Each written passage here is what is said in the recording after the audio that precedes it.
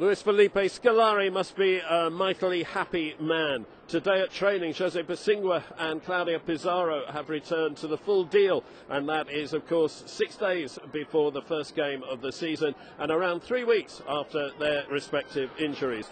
So, here at a record turnout on an open day, we've got around 12,000 people. Only two players are not in training, and they are Didier Drogba and Michael Essien, still rehabilitating from their respective injuries. Didier, the knee through the close season, and also Michael Essien's knock against Lokomotiv Moscow a week or so ago. Today, the West Stand Lower was going to be the only area open for fans, with the contingency of the shed should a lot of people turn up.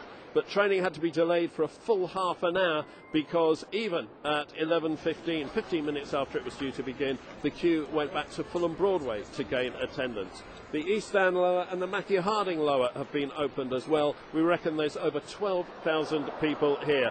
And the ones, the superstars they've come to see, apart from the old names, the regular names, seem to be Deco, who got a massive uh, reception when he came out onto the pitch, and the manager himself, Luis Felipe Scolari.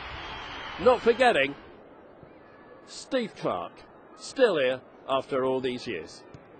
Clarke is joining me on Friday for the first big match countdown of the season. You can talk to him then, but let us talk to some of the fans now. The turnout's uh, huge, isn't it? Um, the queues were massive when we got here, so yeah, it's a good turnout. It's good to see all the players playing, like really going for it out there as well.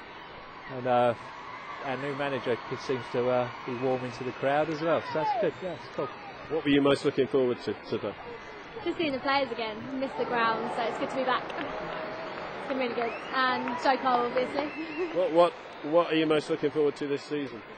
Seeing how the manager is. I'm looking forward to having the new manager and some of the new players. Deco, I think it's going to be pretty good. I look forward to it. He got a great reception, Deco. He did, yeah. Yeah, it's a great team, isn't it? So um, hopefully we'll win everything this year. In the whole wide universe, how many people with Liverpool accents support Chelsea? About uh, 15. Do you know all of them? No. How come you're a Chelsea supporter? Because uh, my family lives down there and my granddad's a huge one. Who's your favourite player? Frank Lampard. Frank Lampard. Why? Because he's a really good professional player. He's the best. so I like to come to days like this where you're definitely going to be able to get him. Favourite player? Um, Frank Lampard. Because? Just, you know, he's been there the whole time and he's, you know, you can always rely on him. So. Are you surprised by, by the turnout? What were you expecting?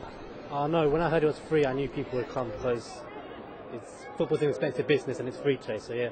I'm here on, on holidays and then I was just around, you know, as a Chelsea fan. I come here to get my jersey and then I see the flyers is free and I'm like, oh my god, I must be here. I cancelled all my plans today. I was going to hang out with some friends, but I said, no, I'm coming, I'm going to come here. I have to be a Stamford Bridge today. I have to see, I, look, look at it, man. It's, it's unbelievable. To the likes of John Terry, who's like my role model. They're like, I'm really impressed. with Frank Lampard, everybody, man. I'm really excited, man. Really excited.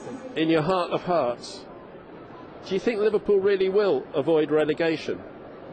Uh, yeah. Yeah. Not sure.